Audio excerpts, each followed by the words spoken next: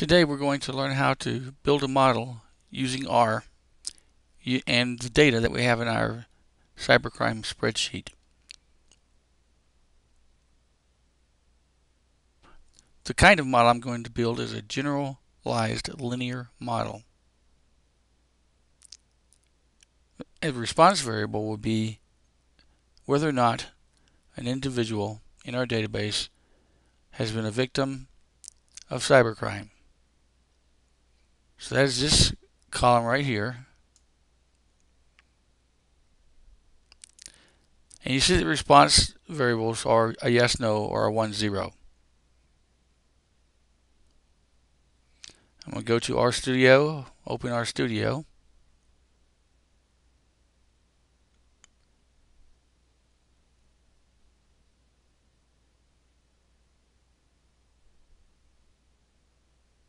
It's going to think here for a minute and, do its thing. So I'm going to go back to my spreadsheet. And I'm going to copy all of this data. Quick way to do that is to hold down the control the shift key, go down arrow and right arrow, and then um, control C for copy. Go back to R. R is ready for me. I'm going to go to the File menu. In the File menu, I'm going to select New File and Text File.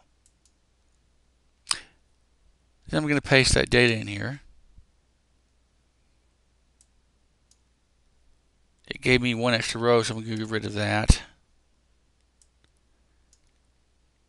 And I'm going to save this as a text file. And I'm going to choose the directory that I'm do my coursework in.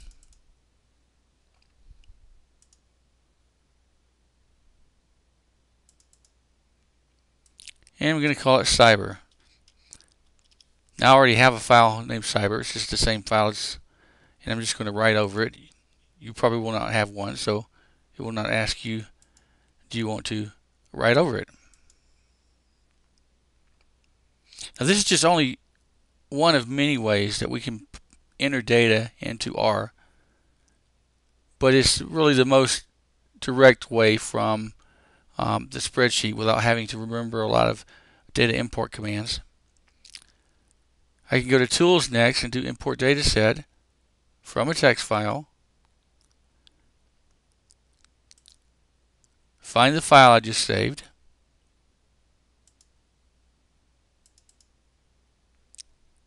Cyber, open it, you get a preview of it.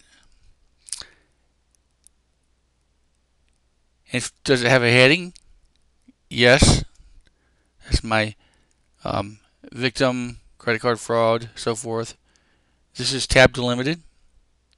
I can tell it is that it defaulted to tab, and you can see that uh, in the bottom window of the data frame um, that the data looks like it should look if I were to do white space, that space is between, it doesn't like that. It doesn't like comma. It doesn't like semicolon. And then I also know that since I brought it from a spreadsheet, not a dot uh, CSV file, that it's going to be tab delimited. So I'll go ahead and import this data.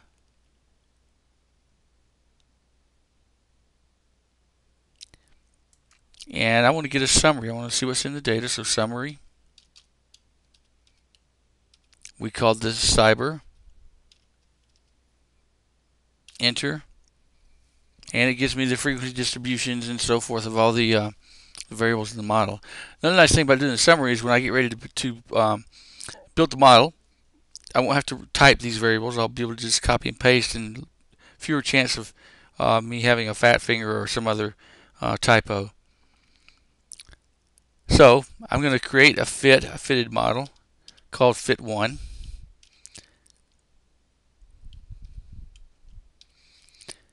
And it's going to be a generalized linear model. But oh, you say, wait, how do I know the syntax for that? Okay. I can do question mark, GLM, and get help on it. It says general, fitting generalized linear models and tells you what the um, fields are that go into it. So I'll have a formula, a family, um, the data, um, so forth. Sometimes that's not very helpful, so you can actually go down to the examples and say, well, I want an example of what that looks like. So if we take uh, the first example, it says we're fitting a general linear model where this is our y variable, and I'm not sure what the uh, post weight is here, um, unless this has to do with post office. Uh, so the dependent variable, the little swiggle line is kind of like a um, equal sign, and then plus this variable and this variable and this variable. So go back over here, call this fit1 again. Generalized linear model.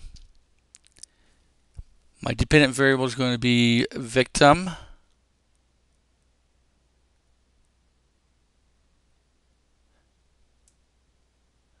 Or rose name victim.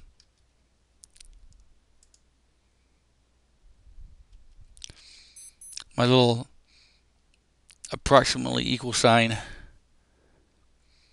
And I'm just going to grab some that seem logical to me. Um, age.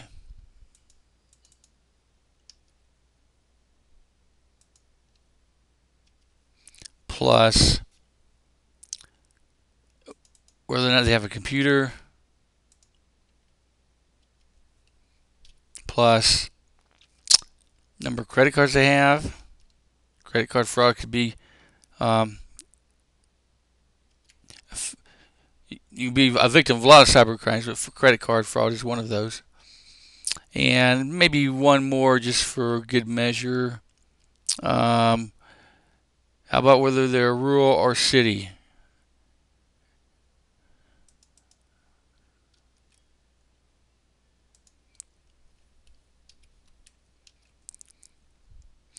We could actually put more, but this is just to demonstrate. I'm only putting four uh, potential predictive variables in here. We're going to give it where the data came from. The data came from cyber. If you forget to do that, it'll give you an error. Say, well, I can't find this stuff that you told me to find. That's because we did, didn't give it the file name or the data set name. And I'm going to leave the family, in this case, blank. And I'm going to press the enter key. And nothing happens because all I did was put that into the um, placeholder there fit. So I'm going to do summary.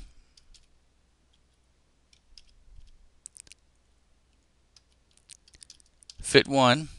See what the model looks like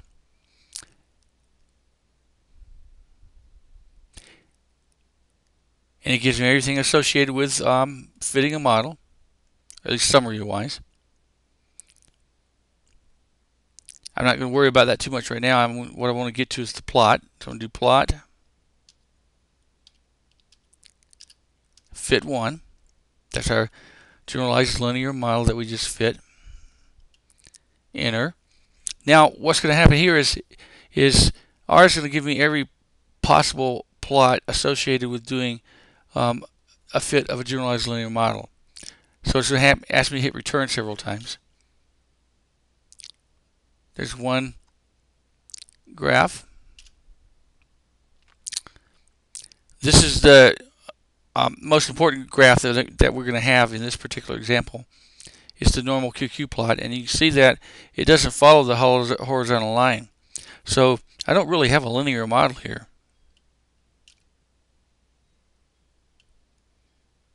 Kind of see it there too. So I'm going to go back and I say, well, that wasn't a, a generalized linear model. So what else can I do? And we'll, we'll actually learn more about this next time, but since I have a 0, 1 or yes, no variable. I'm going to try a family that's binomial. Takes on two numbers.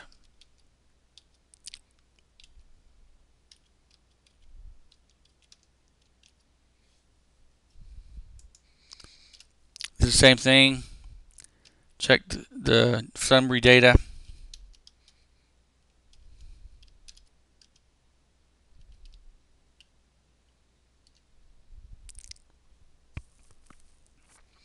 and do the plots.